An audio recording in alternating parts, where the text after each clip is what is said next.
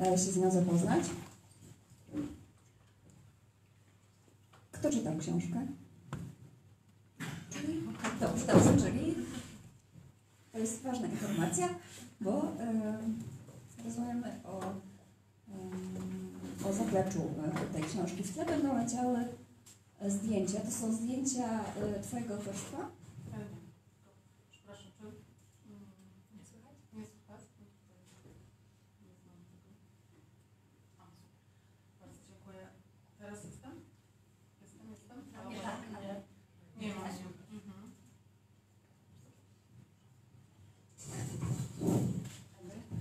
Teraz. O, dobrze. Witam Państwa. E, Zdjęcia, które będą leciały w tle, wybrałam specjalnie na to dzisiejsze spotkanie i jeśli Państwo e, nie znacie jeszcze książki, to może e, to dobrze, a może niedobrze, bo one są ilustracją. One są dokładnie zrobione na ulicach rzemieślników. To jest taka figura będziemy tym rozmawiać. tak, będziemy o tym rozmawiać, więc tylko zaznaczę, że to jest tak, taki zabieg e, literacki, e, ale faktycznie one pochodzą z tych ulic, które ja opisuję w książce, dokładnie z tej trasy, którą trzykrotnie opisuję w książce. To tylko tyle. Zrobiła je Grażyna Kułakowska z Muzeum Warszawy, fotografka, pani fotograf pracująca w Muzeum Warszawy. Zdjęcie będzie za nami. Później jeszcze trochę porozmawiamy o e, tych konkretnych, e, niektórych ze zdjęć. A tymczasem porozmawiamy o, mm, o książce, o tym, jak pracowało e, Ci się nad książką. We wstępie mm, piszesz, ponieważ Katarzyna pracuje w Muzeum Warszawskiej Pragi i pisze, że przez pięć lat, przez pięć lat gromadziłaś materiały dotyczące warszawskich rzemieślników. I we wstępie piszesz, temat stał się moją pasją. I jestem bardzo ciekawa, jak do tego doszło, jak to się stało, że temat, którym zajęłaś się, jak sądzę, zawodowo, przerodził się w pasję. I jak to się stało, że w ogóle doszło do napisania książki. Mhm. Chyba nie potrafię tego. Nie potrafię chyba tak wprost powiedzieć, w którym momencie to się stało moją pasją. E, Wiem, jakie są objawy tego, że to się stało moją pasją. E, No jakieś takie zaangażowanie też ponad e, godziny pracy to na pewno, tak? Chęć obcowania z ludźmi z tego środowiska, właśnie w niedzielę, e, chodzenie na jakieś obiady do cechu rzemieślników, wchodzenie w taki bardzo trudny świat, świat archaiczny, świat z pozoru zupełnie nie dzisiejszy. Też te początki były dosyć trudne, bo y, no właśnie, tak jak to zaznaczyłam już, y, rozmowy z rzemieślnikami moje pierwsze, to nie, nie było od razu jakieś takie pełne satysfakcji i, i zrozumienia, tylko raczej musiałam najpierw wysłuchać tych różnych bolączek, y, które ich dnia codziennego, które ich spotykały. No właśnie, więc, więc ta relacja rodziła się, rodziła się stopniowo, ale same te miejsca z czasem zaczynały mnie bardzo pociągać. Ja też w 2014 roku, kiedy dostałam ten temat, w listopadzie przyszłam jako świeży zupełnie pracownik, a wcześniej pracowałam też jako przewodnik miejski w Warszawie, to też myślę, trochę gdzieś tam ma znaczenie w tej całej sytuacji e, że właśnie więcej pracuję w terenie, w muzeum niż, e, niż gdzieś z obiektami, w magazynach, w, w stricte w archiwach. To właśnie dostałam ten temat. Dostałam zadanie, e, no to Kasiu, stwórz taką ofertę e, programu, spotkań, wydarzeń, żeby nasi odbiorcy, odbiorcy muzeum mogli sobie wchodzić do pracowni rzemieślników i je oglądać i je poznawać. Nie wiem, czy Państwo kiedyś byliście w Muzeum Warszawskiej Pragi? No to świetnie, ale może pamiętacie, że, czy no, autentycznie cieszę się, miło mi. Natomiast e, nie wiem, czy pamiętacie, że przez pierwsze 8 miesięcy ten budynek stał bez, bez wystawy, więc faktycznie to było ważne, żeby zapewnić, żeby już publiczność czuła się e, obsłużona, brzydko mówiąc. E, No właśnie, i, i z tego polecenia e, wynikła, wynikły moje spacery, moje wizyty w pracowni rzemieślników i te miejsca faktycznie od początku były bardzo wciągające, tak? bo to jest tak jak Magda Stopa, która chyba jako pierwsza opisywała rzemieślników w pierwszej dekadzie XXI wieku dla Gazety Stołecznej, pisała takie reportaże, taki cykl, no to ona później podsumowała to chyba w książkę y, też Warszawscy Rzemieślnicy, I ona napisała we wstępie bodajże, że to są takie miejsca e, trochę skansen, trochę muzeum, trochę rekwizytornia teatralna i, i, i one są wciągające, trochę tajemnicze, trochę egzotyczne, trochę nie wiadomo do czego służą te poszczególne narzędzia, prawda, w tych pracowniach, a z drugiej strony są jakieś wyroby, e, które zaczynają znowu być doceniane, prawda, od tych rzemieślników. Ale czy kiedy zaczynałaś e, zajmować się tym tematem, wiedziałaś coś w ogóle o rzemiośle, o rzemieślnikach? Miałaś jakieś wspomnienia z dzieciństwa? Czy, bo to jest taki krajobraz, który ja na przykład kojarzę z dzieciństwa jeszcze, chociaż e, jestem z małego miasta, nie- z Warszawy. Mm, A później kojarzę raczej puste e, witryny albo pojawiające się zupełnie nowe branże w miejscach dawnych warsztatów. To ja chyba podobnie, bo to znaczy w ogóle nie pochodzę z Warszawy. W Warszawie mieszkam od 19 roku życia. E, I jakby z tego okresu, z, z późnych lat 90. mam swoje pierwsze wspomnienia z rzemieślnikami, zresztą z tymi, których nawet opisuję w książce i z którymi się zaprzyjaźniłam, więc pamiętam, jak bardzo to był dla mnie daleki świat. E, Walenty Piecyk, który przekazał bardzo dużą część swojego wyposażenia do, do muzeum i był taką figurą, która bo odkrywała, w zasadzie on mnie wprowadził do tego rzemiosła cechowego, do tego właśnie schierarchizowanego świata starszyzny cechowej. On mnie zapraszał na opłatek do cechu, na obiad do cechu, gdzieś tam szliśmy sobie razem za rękę. No właśnie, on, był, on pracował w moim ścisłym sąsiedztwie i pamiętam jako, jako studentka, ym, nie wiem, mam 20 lat, 20 parę, głównie zapatrywałam wtedy się w odzież w second handach. Poszłam do niego zapytać o wymianę e, suwaka i on powiedział 30 zł, więc ja się złapałam za głowę, wyszłam i 15 lat do niego e, nie wchodziłam. I podobnie było z innym, z innym panem, który, którego też opisuję, panem Wiesławem Skrobiszewskim, który też miał pracownię w mojej okolicy. E, ja tą pracownię mijałam też kilkanaście lat, dlatego że ona była e, potwornie egzotyczna dla mnie. On wytwarzał termometry e, zaokienne i też takie termometry bardzo specjalistyczne, miarowe, termometry, które były jakby według których badano, konstruowano inne termometry. To, to była bardzo wyspecjalizowana dziedzina. No i właśnie tak, taka mała wywieszka, wytwórnia szkła technicznego, absolutnie to było dla mnie takie miejsce, zawsze tam z ciekawością zaglądałam, zawsze jak przechodziłam, drzwi były zamknięte, więc nie wiedziałam, z czym się to miejsce kojarzy i dopiero kiedy zaczęłam właśnie odkrywać ten świat rzemieślników na potrzeby muzeum, em, odważyłam się tam wejść, zaprzyjaźnić z tym panem i jeszcze go poznać, bo on niestety po kilku miesiącach em, em, właśnie zmarł. W książce jest rozdział o tym rzemieślniku. E, Pan Walenty Piecyk e, to krawiec, tak? Bo też piszesz, e, pamiętam dzień, kiedy odkręciłam blaszaną tabliczkę drzwi wejściowych, krawiectwo ciężkie, Walenty Piecyk. Wcześniej do dużego dostawczaka zapakowaliśmy damskie i męskie manekiny na drewnianych nóżkach, kilkanaście mam zaklejone rulonów papierowych wykrojów, żelazko elektryczne, termika ze sznurem, drewniany prasulec, samoróbkę do frontów, kilkadziesiąt żurnali z modą, głównie męską, dwa podręczniki kroju z lat 60. XX wieku, lustro e, i tak dalej. Więc e, mm, a było Ci łatwo zaprzyjaźniać się z właśnie z krawcami, z, z osobami mm, dużo starszymi od Ciebie, o zupełnie e, innym doświadczeniu życiowym, którzy sporo też przez to, że byli rzemieślnikami, musieli przejść, bo za chwilę o tej historii e, trudnej rzemieślników będziemy rozmawiać, ale jestem ciekawa, jak nawiązywało się takie kontakty. Y, Na pewno to nie było łatwe. Trudno mi powiedzieć, jaki dokładnie był klucz. Myślę, że to było takie, że też ci rzemieślnicy, którzy chcieli się otworzyć, oni się otwierali. Część z nich może robiła to też z poczucia takiego potrzeby towarzyskiej, tak? bo, bo często siedzieli, siedzieli sami i wreszcie mogli z kimś porozmawiać. Myślę, że pan Walenty był taką osobą. Pamiętam jego pudełko blaszane pełne y, cukierków. Zawsze częstował jakimś cukierkiem miętowym albo czekoladowym. To już był taki rytuał. Y, Podobnie było z tymi starszymi osobami, że oni w zasadzie już jak e, też czasami wylali na mnie tą, tą garść swoich pretensji do życia, no to później chcieli powiedzieć coś pozytywnego, tak?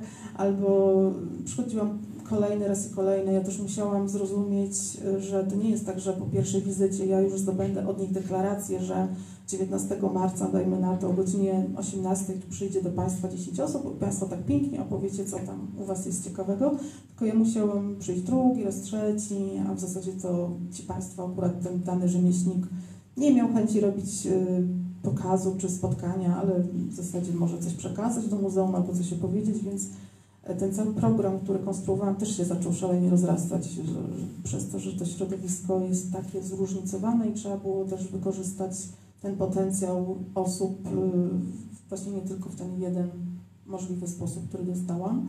No czasami oni mówili, a wie pani, ile ja mam emerytury? 1300. I mówię, a wie pan co, ja ostatnio z ZUS-u dostałam też informację, ja tu mam 300 na razie. Więc czasami to były takie tematy tak życiowe, którymi e, bardzo mnie bolało, jak ktoś nie chciał się zaprzyjaźnić.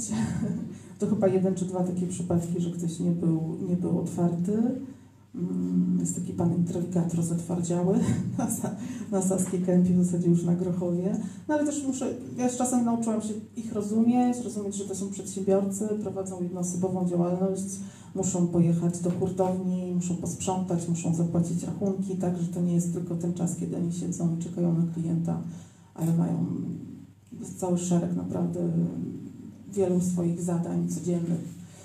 E, Tak, więc to nauczyłam się szanować też to, że ktoś mówi nie i na przykład już tylko przyjaźnić się tak, z tą osobą i, i, i po jakimś czasie się okazywało, że właśnie, że jest jakiś inny fajny pomysł na współpracę, a czasami właśnie mm, też po jakimś czasie proponowałam takie pogłębione wywiady etnograficzne, e, dzięki którym właśnie zdobywałam informacje o tym, o danym warsztacie i mogłam fajniej zaplanować takie spotkanie, wizytę w pracowni dla publiczności muzealnej, ale też no, te rzeczy, które w tych wywiadach, to ankiety już w którymś momencie miały po 20 parę pytań, e, właśnie zaczęły być takim obiecującym materiałem, materiałem, który ja jako dziennikarz jednak z wykształcenia wiedziałam, że, no, że fajne jest do wykorzystania, że trzeba by coś, coś z tym zrobić.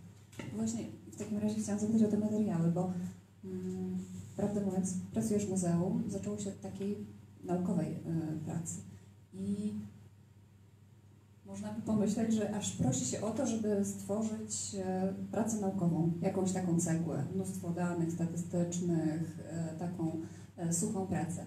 A ty zdecydowałaś się na reportaż i to jest reportaż literacki, to, się, to jest książka, którą się świetnie czyta, ona jest to jest tekst historyczny i tekst współczesny i to są takie spacery, które możemy razem z Tobą odbywać.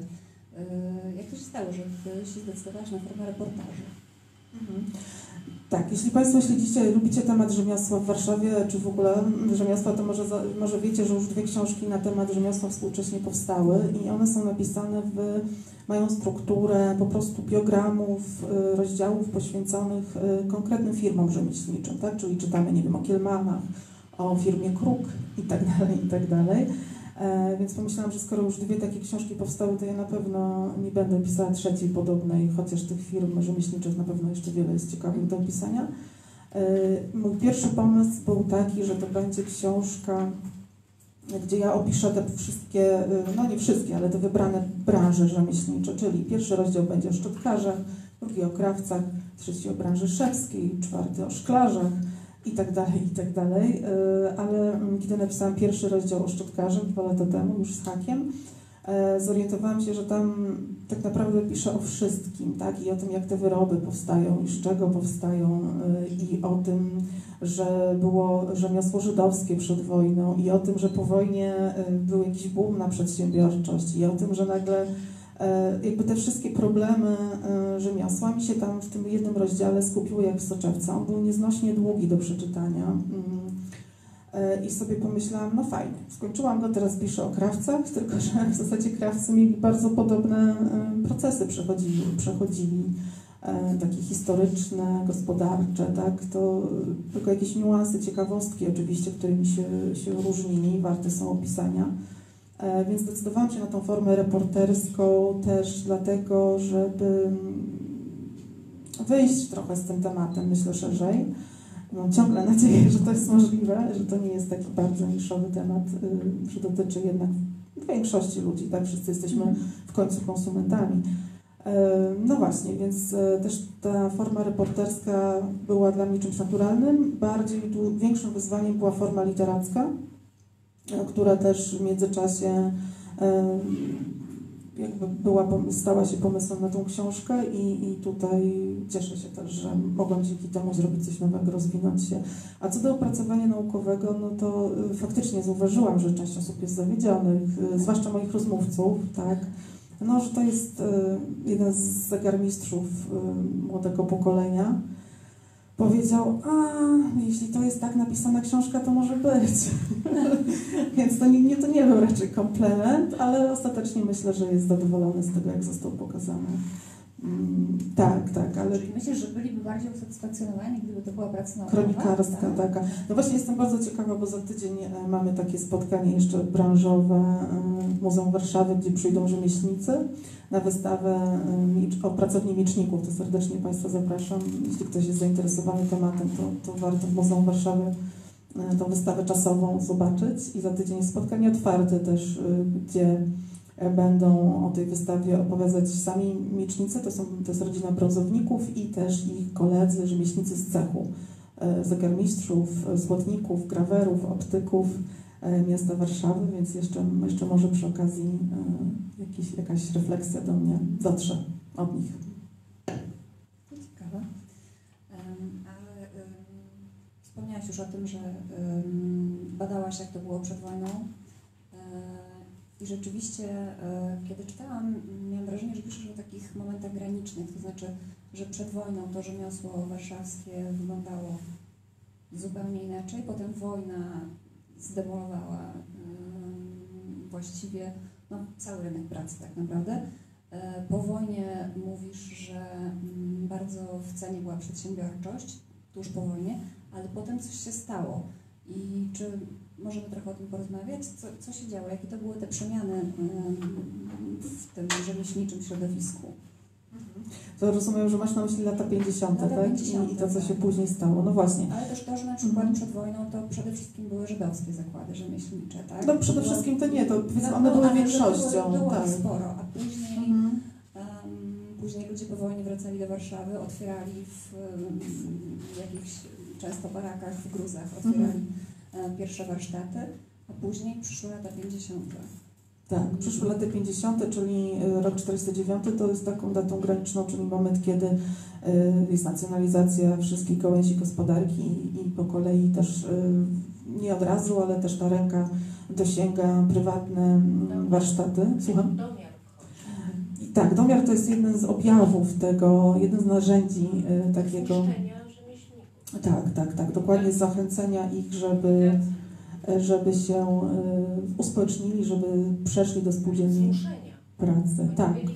Był proces, który był zaplanowany jakoś tam celowo. Tak, tak, tak, dokładnie. Domiar jest, myślę, naj- najbardziej on wybrzmiewa dzisiaj. Ja jeszcze opisuję inne narzędzia, na przykład takim e, okrutnym zupełnie środkiem, którym nie wiedziałam, było nieprzyznawanie y, w latach, po- pod, na początku lat 50.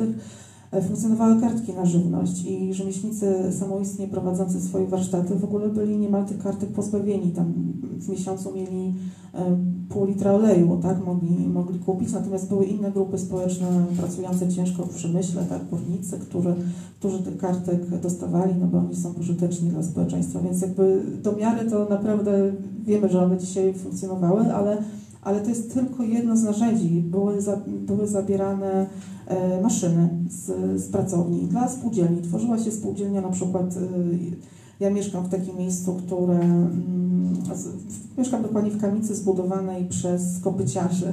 Dla kopyciarzy, czyli to są e, pracownicy spółdzielni e, obuwia ortopedycznego na, na Grochowie i właśnie jak ta spółdzielnia się tworzyła, to były zabrane maszyny z warsztatu pana Omiotka. To pan, pan Omiotek jeszcze, nie wiem czy do dzisiaj, ale jeszcze do niedawna był starszym cechu szewców i normalnie weszli do, do warsztatu jego ojca i było przymusowe zarządzenie zabrania jego maszyn. Właśnie tak, prze, przekazania. Znaczy oficjalnie nie można było tak zlikwidować tych spółdzielni, ale to były te róż, e, tych, tych warsztatów, tak, ale to były różne sposoby, żeby one de, e, de facto przestawały istnieć, tak, jeszcze dotarłam do takich e, sposobów jak e, zupełny zakaz wynajmu lokali rzemieślnikom. Oczywiście, tak, i to, i to właśnie tak, i to właśnie dobrze, że Pani to powiedziała, bo, bo to jest ten moment, kiedy ja chcę powiedzieć, że te, te, te procesy, które opisuję i to, że książka ma w tytule e, historie z warszawskich pracowni rzemieślników. Absolutnie to jest uniwersalne dla, dla całej Polski. Ja też myślę, że jestem trochę w łatwiejszej sytuacji niż osoby z innych miast, bo tutaj tego rzemiosła mimo wszystko przetrwało najwięcej. Ono jest zdziesiątkowane w stosunku do stanu chociażby z lat 80. E, No właśnie, ale jeszcze ciągle mam z kim rozmawiać, tak? Mam archiwa e, i, i tutaj tych rzemieślników, tych warsztatów jeszcze mamy całkiem sporo. Mm, To, to nawet ostatnio policzyliśmy, tutaj jest Stowarzyszenie Miasto jest Nasze, E, ale absolutnie to są procesy uniwersalne, one równie, równie dobrze wydarzały się w Szczecinie, w Poznaniu, w Łodzi, w małych miastach. W małych miastach rzemiosło zupełnie, zupełnie zostało też wymiecione. Myślę, że oczywiście lata późniejsze, 90. Tak, też mają dużo na sumieniu. Mhm. Kolejny taki moment graniczny. Książka jest zbudowana, mm, takim leitmotywem są Twoje spacery, ale też takim powtarzającym się elementem są rozdziały tak zwane, ja swoje tak nazwałam rzeczowe, czyli bohaterami tych rozdziałów są przedmioty wytwarzane przez rzemieślników. E, Są e, abażury, biustonosze, ym, neony i ym, jak powstawały te, te rozdziały? Kto Ci opowiadał o tej produkcji?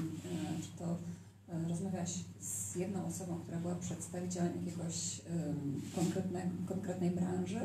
Czy to jest zbiór doświadczeń? Jestem bardzo ciekawa, jak, bo bardzo mm, te rozdziały są dosyć y, fachowe, znaczy w, przy- w przystępny sposób opisane, ale jednak musiałaś na pewno z jakąś fachową wiedzą się zmierzyć i ym, jestem ciekawa kulisów powstawania tych, tych.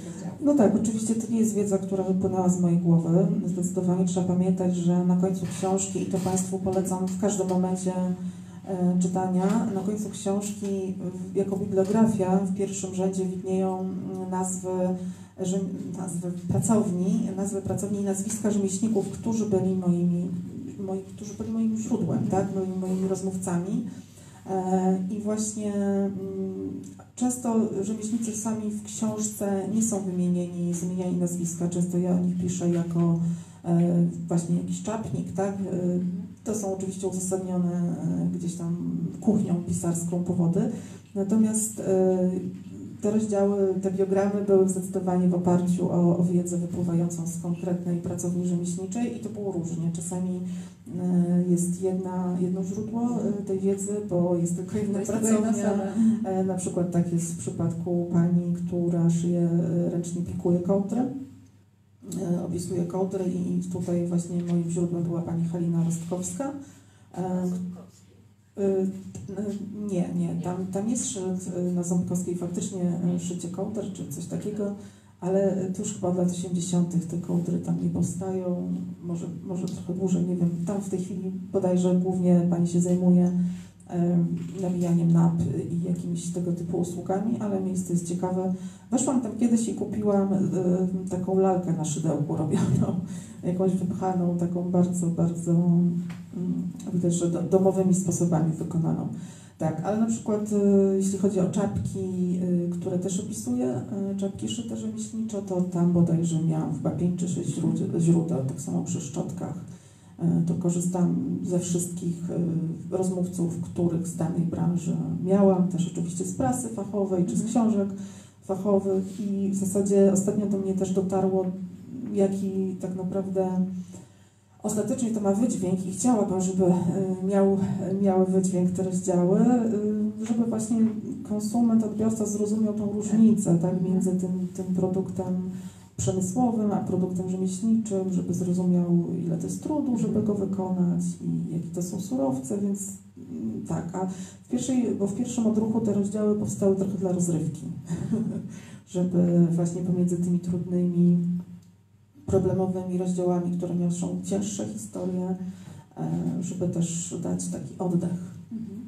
No, one pokazują też właśnie, one pokazują te różnice dla mnie bardzo wyraźnie.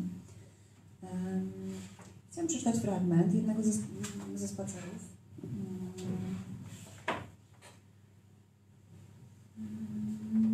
Targowa szumi, idę w stronę zielonej ściany, chyba najdłuższej w mieście.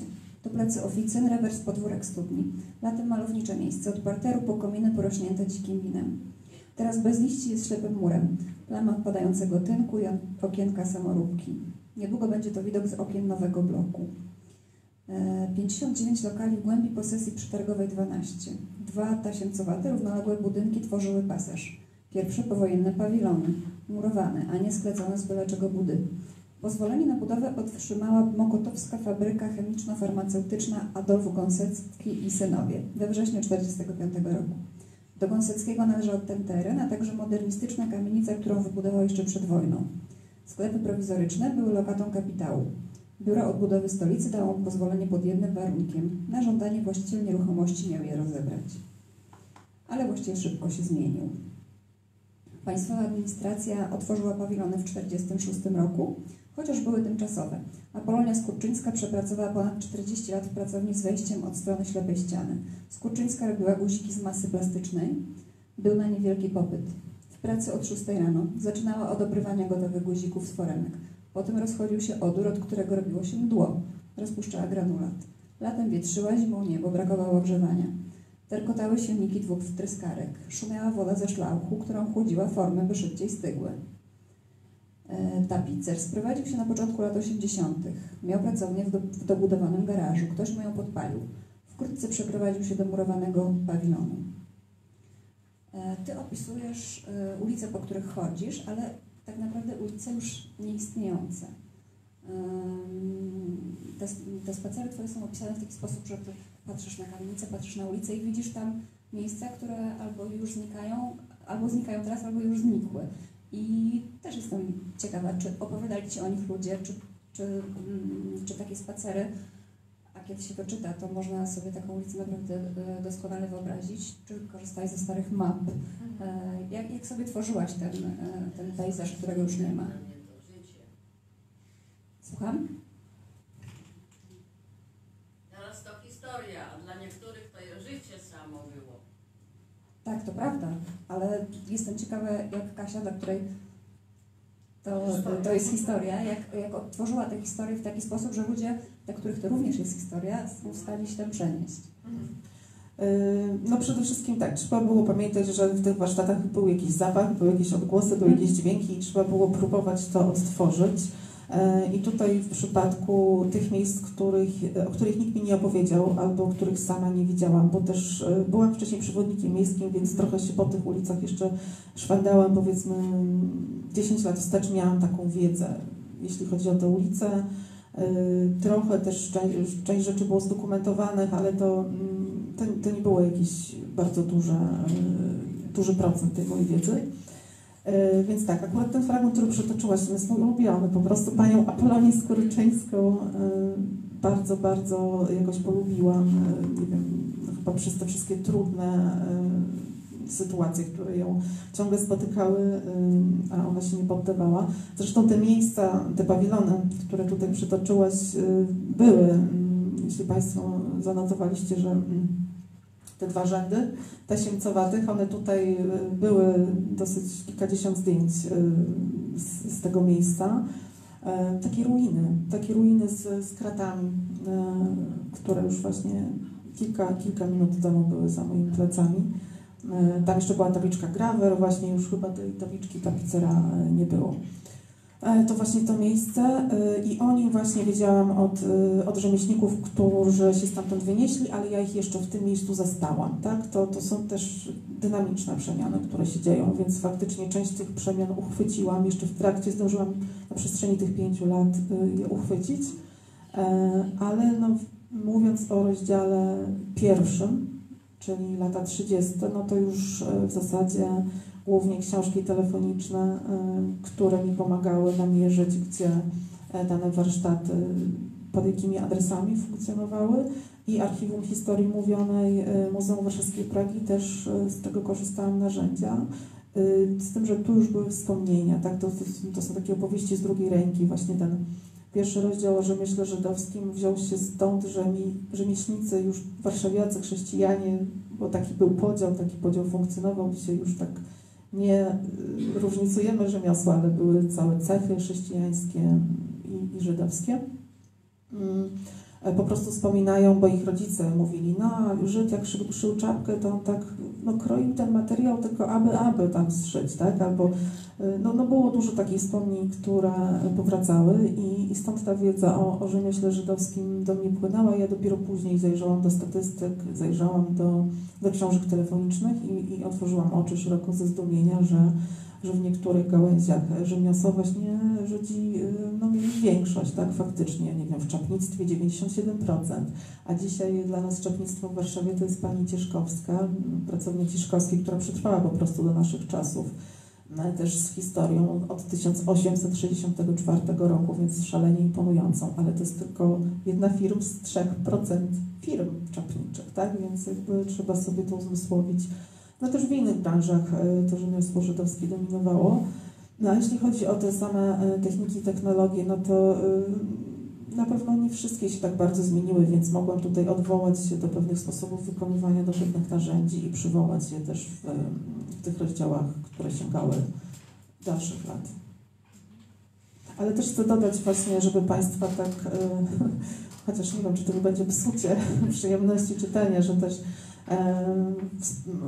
chodząc po tych ulicach rzemieślników e, opisuję te współczesne, te, te warsztaty, do których, które ciągle istnieją, do których ciągle można wejść, a nawet takie, które się niedawno pojawiły, tak? Czyli chodzi o to, że jest jakieś nowe życie, że w miejsce tych, w zasadzie nawet jest, jest jakaś taka zamienność, że, że tutaj był stolarz kiedyś, tak, on pięknie rzeźbił, a dzisiaj jest tam szkoła stolarstwa tradycyjnego i to jest niemalże w tym samym miejscu. I takich przykładów e, naprawdę jest kilka, tak, że, był jakiś, e, jakiś szewc, jakiś czepnik i nagle okazuje się, że dwa lata temu w podobnym miejscu e, ktoś się otworzył i można powiedzieć, że to nic niezwykłego, bo po prostu tego rzemiosła było tak dużo przed wojną i, i w ogóle po wojnie, że, że wszędzie była jakaś pracownia, że w co drugiej bramie na ulicy Targowej był po prostu szewc i to naprawdę nie ma co się jakoś szczególnie, mm, nie wiem, mm, ekscytować tym, że nagle znowu tutaj w bramie jakiś e, szewc się otworzył.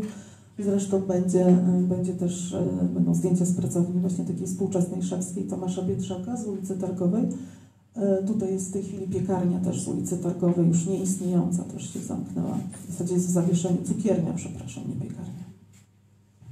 Bo, mm, z tym, co przed chwilą powiedziałaś, kojarzy mi się to, co napisał tutaj na okładce y, Philip Springer.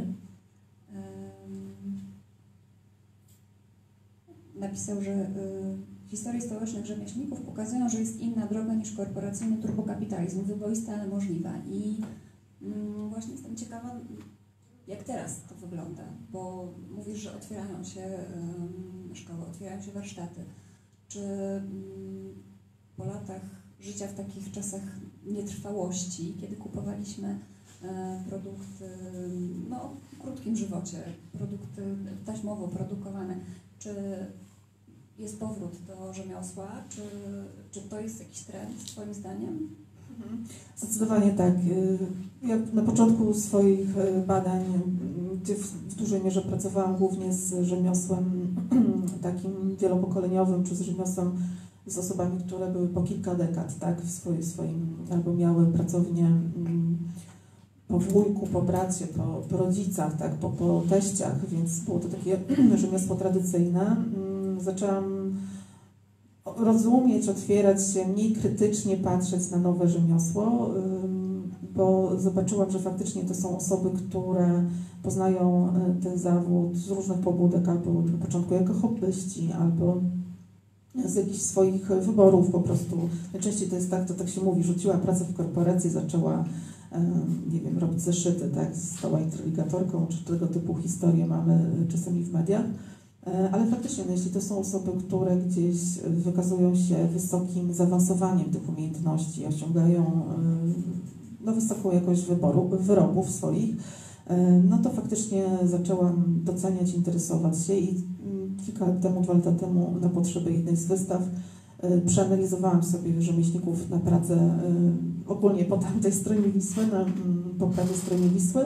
I ze 100 pracowni, których dane miałam, okazało się, że kilkanaście, już kilkanaście procent to są pracownie młodych rzemieślników, tak, którzy, to nie były osoby, które sobie coś robią po godzinach w domu, tylko to były osoby, które zarejestrowały swoją działalność i wynajęły lokal, czyli po prostu full time zajmują się tak y, tym rzemiosłem i to są też takie właśnie zawody bardzo tradycyjne, czyli zegarmistrz, y, który naprawia też zegary takie mechaniczne, y, czy właśnie szef, który potrafi zrobić buty od początku do końca, y, czy ostatnio tkaczka, która faktycznie ma krosna i tka nicielnicowe i tka skomplikowane wzory. Mm, No właśnie, a pytanie, czy one się, czy, czy, czy już jest odbiorca, tak? No, skoro oni się znaleźli, skoro oni wytwarzają te rzeczy, to znaczy, że jest ten odbiorca. No na przykład takim też taką branżą są nożownicy. Ich wielu nie ma, ale jest powiedzmy dwóch, trzech, którzy e, wykonują wyspecjalizowane noże dla szefów kuchni, tak? Więc jeśli jest szef kuchni, który potrzebuje mieć różne rodzaje noży dla, dla swoich tam dań poszczególnych, żeby to było zgodnie z pewnymi zasadami zrobione, no to te noże są wykonywane. E, I nagle taki zawód zupełnie, prawda, z książek e, starych, pożółkłych się odradza. Natomiast wydaje mi się, że jest swego rodzaju boom. E, Zdecydowanie jest w Warszawie na, na to nowe rzemiosło. E, Trochę też jest w innych miastach. E, Czy to się utrzyma, nie wiem. Też obserwujemy, że część tych pracowni po jakimś czasie nie wytrzymuje próby czasu. Jest taka kaletniczka, mam nadzieję, że mi wybaczy, że ten przykład podaję, którą poznałam. Ona była absolwentką Akademii Sztuk Pięknych Wydziału Wzornictwa i odkupiła całą pracownię kaletniczą na Grochowie, właśnie z maszynami, nawet z pracowniczkami, z wykrojami. Naprawdę bardzo fajną pracownię w suterenie mm, usytuowaną. No i po jakimś czasie zmieniła jakby swoje, swój zawód, została ogrodniczką, przeszła na weganizm, przestała pracować w skórze. Więc jakby tak, to, był tak, to, to można powiedzieć, że to nie przetrwało próby czasu u niej, natomiast y, są też, myślę, właśnie stabilność finansowa. To jest coś, co jest wspólnego i dla tych starszych, i dla tych młodszych, że, że są czasami pewnie takie okresy mniej, kiedy jest mniej zamówień, no i w zasadzie trzeba jakoś z tej sytuacji wyjść. E, No i szkoda, żeby rosły jakieś długi, tak, i żeby z powodu jakiejś takiej krótkotrwałej zapaści e, te, te warsztaty odchodziły, ale tak się dzieje, tak się dzieje, bo e, też był pan, który na fali takiego mm, powrotu do rzemiosła wrócił e, do, do zawodu modysty, czyli zaczął robić kapelusze. Już myślę, że było około 60 i jego mama była modystką. No i po trzech latach stwierdził, że, że absolutnie za mało sprzedaje tych wyrobów i, i, i zamknął warsztat, tak? Więc, więc to są różne, różne przykłady. Na pewno ta świadomość odbiorców jest tutaj kluczowa, tak? Jeśli ta świadomość będzie bardziej, no bardziej powszechna, popularna wręcz, y, no to, no to bę- będziemy chcieli płacić więcej, tak? Bo to jest kwestia ceny też z tym pokoleniem em, starszym odchodzą tańsze usługi, odchodzą naprawy, tak? Z jednej strony szkoda, że rzemieślnicy, którzy szyli garnitury, zaczynają łatać dżinsy czy wymieniać ten suwak, ale z drugiej strony dzięki temu oni robią to jeszcze w przystępnych cenach, bo po prostu tych usług one będą, ale będzie ich mniej. Bo nowe rzemiosło, młode pokolenie, na przykład kaletników, o których wspomniałam, czyli wyroby skórzane, jest mniej zainteresowane zdecydowanie naprawami. Oni się lubią wąsko specjalizować, tak? Ktoś zrobi, ktoś robi tylko i wyłącznie paski do zegarków, m, jakichś ekskluzywnych, tak? Ktoś robi portfele, ktoś robi em, jakieś tłoczenia w skórze, tak? Więc to są już e, specjalistyczne naprawdę rzeczy. E, Mam nadzieję, że, że jakby zostaną ci młodzi rzemieślnicy z nami, też ze względów takich osobistych, że jeszcze będę mogła badać e, ten temat. E, No i też myślę, że takim trendem, który o tym trochę świadczy, że to już się wżarło gdzieś tam w, w nasz świat, jest obecność rzemiosła w reklamie. To, że przy okazji reklam, reklamy produktów potocznie niezwiązanych z rzemiosłem, banków, nie wiem, osiedli mieszkaniowych, nawet kebabu czy artykułów żywnościowych, właśnie są ciągle odwołania do rzemiosła. Oczywiście musimy być czujni jako konsumenci, bo one często są nieuczciwe, więc y, myślę, że coś takiego jak craft washing, czyli sprzedawanie produktu, który nie jest y, wykonany ręcznie, czy, czy w jakiś taki sposób bliżej, bliski rzemiosłu, ale sprzedawanie go z otoczką y, rzemieślniczą jest bardzo, bardzo częste, czy z otoczką, że to jest tradycyjne, lokalne, że tutaj to jest to szalenie nadużywane w tej chwili. E, Jeszcze chciałam wrócić w takim razie do tych nowych rzemieślników, bo opisujesz w książce, jak to było kiedyś, to znaczy drogę rzemieślnika, e, te relacje mistrz-uczeń, e, w ogóle cały ten system relacji społecznych, który się wytwarzał, zanim ktoś zostawał rzemieślnikiem. A jak uczą się ci dzisiejsi młodzi rzemieślnicy, którzy nie mają na przykład e, wieloletniej tradycji rodzinnej w zawodzie? e, którzy po prostu właśnie powiedzmy, że mm, pracuję w korporacji, jestem już zmęczona i myślę sobie, chcę zostać karetniczką. Z czego nie mogą dzisiaj korzystać? Bo przecież szkoły zawodowe jednak w znaczącej części zostały polikwidowane, teraz trochę wracają, ale jak oni się uczą, jak oni wchodzą do tego zawodu teraz? Tak, y, przede wszystkim metodą prób i błędów są samoukami, to jest największa, najczęstsza droga do rzemiosła. I też widzę, że młodzi rzemieślnicy, nowi rzemieślnicy, bo to nie są zawsze osoby młode, to Mhm. są osoby 30-40-letnie, nawet więcej, y, one sobie to cenią wręcz, że one same do tego dochodzą, że robią to bez żadnych instrukcji, to jest dla nich pewna wartość, tak, że Oczywiście tutaj tutoriale internetowe są już y, bardzo poważnym źródłem. One też często są, pochodzą na przykład w przypadku kaletnictwa to są filmy ze Stanów, gdzie jest y, też inna, inna, jest, inna jest technologia, to kaletnictwo jest na przykład związane z wyrobami kowbojskimi, jest właśnie ta cała kultura tłoczeń w skórze, więc to nie jest do końca takie coś, co jest adekwatne do kaletnictwa tutaj tradycyjnego. Mm, Więc tak, zdecydowanie samoucy, zdecydowanie hobbyści, którzy poświęcają na to dużo czasu. E, ale też oni szukają, oni sami chodzą i w którymś momencie, albo niektórzy z nich szukają e, takiego źródła, właśnie mistrza, u którego mogliby e, pracować. To jest naprawdę duże wyzwanie.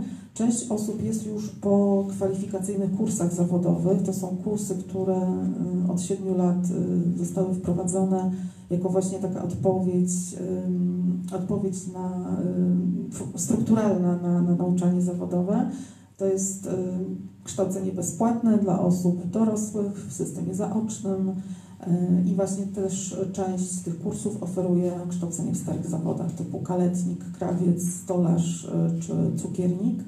E, Natomiast wbrew pozorom to rozwiązanie bardzo przyjazne wyklucza inne rozwiązanie, czyli właśnie możliwość praktykowania u samego rzemieślnika, bo e, w tej chwili szkoły zawodowe i, i przez ostatnie 30 lat szkoły zawodowe e, były głównie adresowane do osób e, małoletnich, tak? czyli do osób, które kształcąc się w szkole mogły odbywać u rzemieślnika praktyki. Te praktyki oczywiście sami rzemieślnicy mówią, że ich czas był coraz bardziej skracany i w zasadzie już był tak bezsensowny i symboliczny, że, że, że po szkole zawodowej to ten uczeń nic nie umiał, co też przychodził do rzemieślnika, słyszał, że nic nie umie i to się tak nakręcała taka wzajemna, e, wzajemna niechęć e, tych małoletnich uczniów. Ym, No właśnie, a z kolei e, dorosły nie, nie było, mm, nie ma w zasadzie, czy nie było przez szereg lat świadomości, że, że jest możliwość zatrudnienia się w pracowni, bo rzemieślnik mówił, no jak ja Ciebie zatrudnię, jak ja muszę za Ciebie odprowadzić od razu, po prostu zapłacić Ci pensję minimalną, odprowadzić składki, a przecież Ty nic nie umiesz. To jest dla mnie jakaś inwestycja szalona. A jest jeszcze inne rozwiązanie, które nawet ja badając ten temat tak naprawdę rozpoznałam je dopiero całkiem niedawno, e, czyli to jest możliwość przez urzędy pracy e, zdobycia takiego dofinansowania na szkolenie zawodowe w, właśnie w pracowni mistrza i wtedy jest jakieś minimalne wynagrodzenie dla tej osoby pobierającej naukę e, i wynagrodzenie dla rzemieślnika, oczywiście w momencie, kiedy będzie zdany egzamin czeladniczy, czyli ten pierwszy stopień jakby potwierdzający kwalifikacje zawodowe. A po kilku tam miesiącach to rzemieślnik otrzymuje bodajże 8 tysięcy e, takiego, takiego zwrotu. E, Więc taki, taki instrument istnieje, tylko mało kto o nim wie, to jest pierwsza rzecz, a druga rzecz jest taka, że sam już mało jest rzemieślników, którzy w ogóle chcą przyjmować kogoś w swoich pracowniach, tak? Albo te pracownie mm, nie mają, tam po prostu nie ma miejsca, albo tam nie ma toalety, bo zdarzają się i takie przypadki, nie ma po prostu warunków. E, No albo ten rzemieślnik, no nie chce z różnych przyczyn. My prowadziliśmy w muzeum e, takie szkolenia, mieliśmy dofinansowanie na dokładnie tego typu szkolenie, czyli że młoda osoba już trochę zaawansowana, która trochę zna ten zawód, e, możemy sfinansować jej naukę, praktykę u rzemieślnika w jego pracowni. I tak naprawdę to odbyliśmy rozmowę chyba z 24 rzemieślnikami, z których dopiero sześciu udało nam się wyłonić y, tak, że do, do ostatecznie tej współpracy, czyli to naprawdę pokazuje, jak duży procent y, jest zniechęconych. Y, Oni otrzymywali oczywiście też za to gratyfikację, więc, więc y, to były bardzo komfortowe warunki. A wracając do Twojego pytania, no jest część takich rzemieślników, którzy potrafią, młodych tych rzemieślników, którzy potrafią sobie wydep, wy, wydreptać, tak? Po prostu wyrzucają drzwiami, oni wracają oknami do, do, do takiego mistrza, no, albo udaje im się znaleźć kogoś przychylnego. To są naprawdę przypadki do policzenia na, na palcach jednej ręki, ale są, tak? Więc z drugiej strony, tak, i książce też są, więc to wszystko daje nadzieję na, na taką e, też solidną e, kontynuację tych zawodów rzemieślniczych, bo w Austrii, w Niemczech jakby ciągle utrzymana jest ta e, certyfikacja zawodowa, tak? Czyli żeby być rzemieślnikiem, jeśli e, robi się buty ręcznie e, wytwarzane, no to trzeba mieć po prostu dyplom mistrzowski. Tak słyszałam o przypadku e, szewca, który e, właśnie w Wiedniu miał młodego pokolenia, który miał e, napisane tak na swoim szyldzie, że robi buty ręcznie, a nie robił ich ręcznie. I po prostu przyszła, przyszedł ktoś z cechu, ktoś z Izby Rzemieślniczej, sprawdził to i zakazał mu i on musiał ten, ten warsztat zamknąć. Więc jakby u nas to jest absolutnie uwolnione, to ustawa Wilczka przyniosła 89 rok, to przyniósł, prawda, dużo plusów dla wolnorynkowej gospodarki, no ale przy okazji e, efekt jest taki, że ta edukacja rzemieślnicza też przez to, że nie trzeba było mieć dyplomu czeladniczego czy jakichś potwierdzonych kwalifikacji zawodowych, żeby ten e, warsztat otworzyć, no to, to, to właśnie sprawiło, że, e, że i dzisiaj tak naprawdę ja mogę sobie otworzyć pracownię krawiectwa artystycznego i mówić Państwu, że zapraszam na, na szycie miarowych żakietów. A to, czy ja je uszyję sama, czy, czy ja po prostu wezmę Państwa miarę i uszyje mi to ktoś, nie wiem, w jakiejś fabryce w innym, w innym państwie, to, to, to już nie ma znaczenia. Tak ja mogę nadal zachęcać, że to jest krawiectwo tradycyjnie, miarowe, artystyczne. Jakby to nie jest, to nie jest w żaden sposób weryfikowane. Czy w takim razie miasta, znaczy jesteśmy w Warszawie, więc czy Warszawa wspiera jakoś rzemieślników? Wspiera jakoś rzemiosło? Nie wiem, są jakieś tańsze czynsze przez jakiś czas, jakieś cokolwiek z form wsparcia? No tak, ja często, często to pytanie otrzymuję i e, zdecydowanie wolę, żeby zadawać je urzędnikom. Ale oczywiście mam taką wiedzę, e, mam taką wiedzę i faktycznie są te czynsze od kilku lat e, preferencyjne dla pracowni rzemieślniczych. W całej Warszawie to nie jest tak, że, że tylko na Pradze, która się może tak bardziej e, z tym komunikatem przebiła i też wprowadziła jeszcze dzielnica sama taką dodatkową zniżkę e, dla rzemieślników, więc tam faktycznie, jeśli się już znajdzie lokal, bo naprawdę lokale są w kiepskim stanie, tak, są bez ogrzewania, więc co z tego, że Państwo sobie wynajmiecie tani lokal, jak no po prostu tak za ogrzewanie będzie bardzo duży rachunek, ale faktycznie e, te, te ulgi są i, i to znaczy dużo, no bo jeśli, nie wiem, na krakowskim przedmieściu czy gdzieś w centrum, e, w śródmieściu można sobie wynająć lokal za 20 zł za metr, a nie za 120 zł za metr, to jest dużo. Oczywiście to nie będzie taki lokal pełnoprawny, mam na myśli, że być może będzie trochę niższy, albo może będzie do niego wejście przez podwórko, czy będzie gdzieś w suterenie, ale takie e, ogłoszenia się pojawiają. Natomiast no, myślę, że jest dużo, dużo więcej do zrobienia, co, co zdecydowanie samorząd mógłby zrobić. E, Mieliśmy też e, tutaj jako muzeum, jako instytucja taką próbę przekonania, wypracowania z urzędnikami różnych rozwiązań. 45 takich propozycji e, wypracowanych razem z rzemieślnikami zostało przekazanych też do Biura Polityki Lokalowej.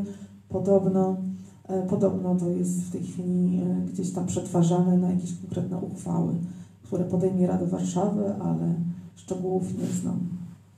Pytam nie dlatego, że chciałam coś wynająć, ale bardziej dlatego, że zastanawiam się, co miastu daje, no, tak jak moja Warszawa powiedzmy, daje rzemiosło. Co daje istnienie rzemiosła w mieście? W mieście? No, Zastanawiałaś się nad tym? No tak, zdecydowanie. W muzeum ogólnie, e, jak rozmawiam tam z moimi kolegami, no to jesteśmy takiego zdania, że, e, że to jest absolutnie no, taka esencja miasta, tak? My oficjalnie oczywiście, jeśli musimy przygotować jakieś dokumenty, to argumentujemy, że to jest tożsamość, prawda, dziedzictwo i tożsamość dzielnicy i dziedzictwo i to jest wszystko, to jest wszystko prawda, ale no to też myślę jest taki komfort życia, który e, rzemiosło daje mieszkańcom po prostu. Jakiś punkt odniesienia, coś, jakaś przestrzeń, która jest prawdziwa, do której y, dzieci z pobliskiej szkoły, gimnazjum mogą pójść i, i, i właśnie poznać jakąś, tak jak właśnie może Filip napisał, alternatywną rzeczywistość, tak, wobec tego turbokapitalizmu. E, No bo jednak tak jest, że, że, że jak y, przedszkolaki w przedszkolu poznają czas, to często panie z przedszkola zabierają je na wizytę do zegarmistrza i myślę, że to jest autentycznie urocze i, i, i w zasadzie tak powinno być. E, Są też trochę, e, tak jak w książce przywołuję to, co powiedział e, Konrad, Maj, psycholog społeczny, że rzemieślnicy, zwłaszcza ci starsi, są takimi mentorami, w sensie pamięci, oni magazynują sobie tą pamięć, są takimi osobowościami, pamięć dzielnicy, e, bardziej już e, może takimi osobami, do których się przychodzi pogadać, posiedzieć, pełnymi swojej charyzmy. To też jest ważne. No właśnie, więc wydaje mi się, że z tych wszystkich względów ta przedsiębiorczość w tym wydaniu produkcyjnym też, e, już tu nie mówiąc o całej ekonomii cyrkularnej, która teraz e, powoli wraca, e, czyli wy- przetwarzaniu, tak, wykonywaniu rzeczy z resztek, a rzemieślnicy to właśnie to robili. Oni po prostu, rzemieślnicy w mieście, zarabiali na tym, że przetwarzali resztki, tak, właśnie y, też te szczotki, to to było, szczotki były wykonywane z, właśnie z, z resztek gdzieś tam z garbarni, tak, to, to wielu rzemiosłach właśnie można, można spotkać, więc y, no już nie mówiąc o właśnie takim, takim storytellingu, tak, takim, takiej atmosferze, y, takiej atmosferze, że, jest to miejsc, miasto ze swoją historią, ze swoimi ludźmi, ze swoją opowieścią i myślę, że jest absolutnie warte pielęgnacji i, i są takie przykłady, które płyną do nas z innych stolic, na przykład z Barcelony, że tam uznano, że są takie miejsca jak sklepy zabytki czy pracownie zabytki i one zawsze mają być w tym miejscu, tak, że to jest rola urzędnika, żeby zadbać o tym, że jeśli taki sklep ze świecami, który ma 150-letnią historię, czy z kapeluszami, czy z krawatami, jeśli jest w danym miejscu właśnie od tych, od tych wielu, wielu lat, to trzeba za wszelką cenę go w tym miejscu utrzymać, zadbać, nie wiem, nawet wdać się w jakieś negocjacje z prywatnym właścicielem kamienicy, e, żeby to miejsce po prostu tam zostało i tworzyło tą atmosferę. Tutaj wydaje mi się, że szalenie trudno do tego przekonać urzędników, że oni nie rozumieją trochę tego, bardziej wychodzą z perspektywy wolnorynkowej, z takich, że, że to wszystko musi się gdzieś tam bilansować. E, Mieliśmy taką dyskusję z y, wiceburmistrzem jednym z wiceburmistrzów, który absolutnie mówi, tak, rzemiosło niech będzie na tych ulicach, ale gdzieś tam w trzecim podwórku, w suterenie, gdzieś za zakrętem. I my nawet te szyldy, e, dodatkowe szyldy, które trzeba będzie dołożyć, żeby poinformować, że poza tym zakrętem w oficynie jest, jest ta pani mm, rzemieślniczka, to my nawet im obniżymy za te, za te dodatkowe szyldy, ale na we froncie? Po co we froncie?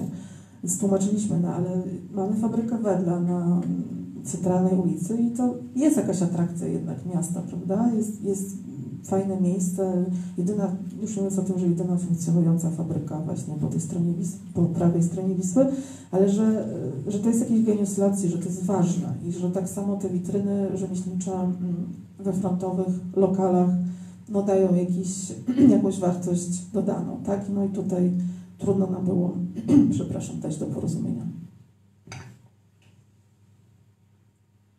Mam nadzieję, że to będzie zmierzać w dobrą stronę, w lepszą. Skoro już zaczęły się jakieś y, ruchy. E, Czy Państwo mają pytania? Bo może to jest dobra pora na pytania.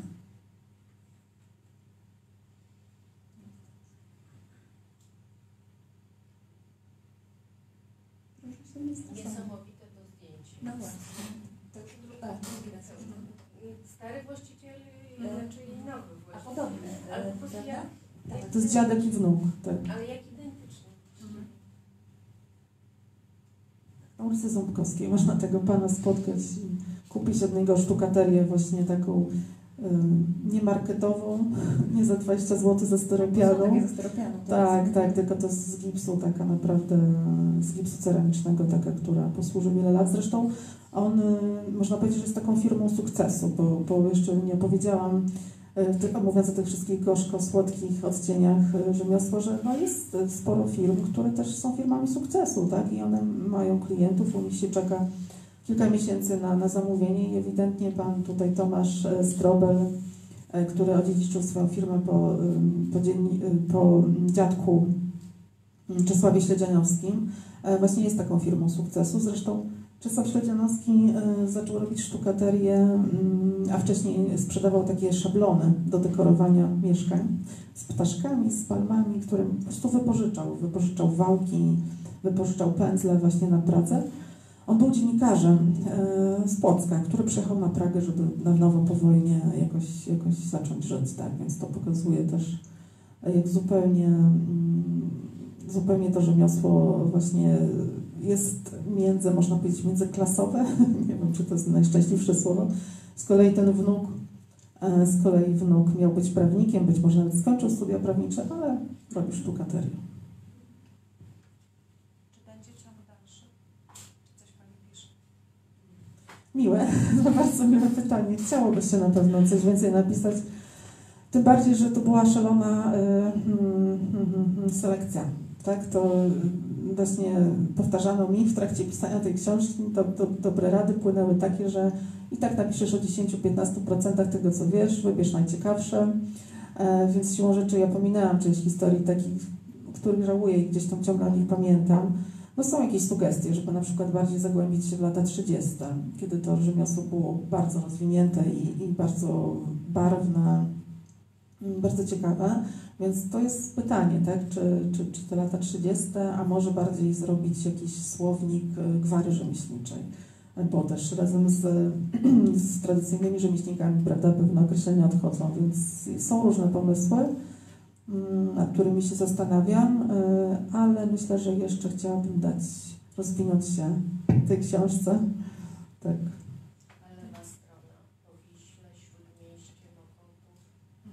Znaczy książka jest, dotyczy Warszawy całej. Całej. Tak, tak. To też się pojawiają pracownie z, z całej Warszawy, aczkolwiek rozdziały ulica Rzemieślników i Stółowa na, na Pradze, bo po prostu najlepiej znam tę ulicę i, i gdzieś tam się na co dzień e, tak kręcę. A nadal będą jakieś spacery właśnie jeszcze związane z książką? Tak, zdecydowanie chcę spróbować, wypróbować to, chociaż to będzie trudne, myślę, no bo o ile mówić o współczesnych warsztatach fajnie, można stanąć przed jakąś witryną, ale, albo nawet wejść do pracowni, ale, ale właśnie mówić o miejscach, gdzie już prawie się nic nie zachowało, to będzie pewnie wyzwaniem, yy, ale tak, na pewno spróbujemy. Zaplanowałam je na jesień, ale może zrobię jakiś pilotażowy spacer yy, jeszcze wiosną. Mhm. Dzięki. Teraz już taka pogoda wiosenna właśnie. Ja y, tak mm, do zakończenia od siebie dodam, że po, y, czytałam y, y, Kasia Twoją książkę chwilę przed przeprowadzką swoją. Y, Zmienialiśmy mieszkanie i y, zastanawialiśmy się, czy kupić jakieś nowe meble, bo większe mieszkanie i tak dalej, i tak dalej, ale y, pomyśleliśmy sobie, że właściwie to przecież gdzieś tam w piwnicy są y, rzeczy jeszcze po moich dziadkach. I odnalazłam tropy swojej książki w piwnicy moich dziadków, to znaczy wstawiliśmy sobie do mieszkania regał e, tam z zamościa, stolik z drzewotechniki, e, odkryliśmy tam paterę e, ząbkowicką projektowaną przez Drosta i to cały czas jak odnawialiśmy to mieszkanie i tam wstawialiśmy kolejne rzeczy, to myślałam sobie o tym, że o, o Twojej książce i o tym, że, że kiedyś rzeczywiście produkowano rzeczy, które do dzisiaj po prostu można wstawić i, i, Tak. i z nich korzystać, a jakiś tam stolik y, z Ikei już ma utrąconą nogę po dwóch latach. Tak, dokładnie. Ja też muszę powiedzieć, że mam umeblowane w ten sposób mieszkanie i gorąco każdemu to polecam. Tak, to też rozdział czwarty może być takim przewodnikiem po tych meblach e, na początek, może tak, dla początkujących. Jeśli ktoś chciał jeszcze coś dodać od siebie, to zapraszamy. Tak, jeszcze oczywiście tu będę przez Tak, kilka minut. jeszcze można poprosić autograf, autorkę, porozmawiać, jeżeli y, ktoś nie chce zabierać głosu tak publicznie, to jeszcze w kuluarach można kilka słów zamienić. Tak, też zapraszam, przepraszam, jeszcze ostatnie słowo mm, przez mikrofon. E, tak, na co dzień można mnie faktycznie nadal spotkać w Muzeum Pragi, gdzie prowadzę dalej spotkania z rzemieślnikami, więc, e, więc można i w ten sposób się z tematem dalej, dalej spotykać. Zapraszam. Dziękujemy.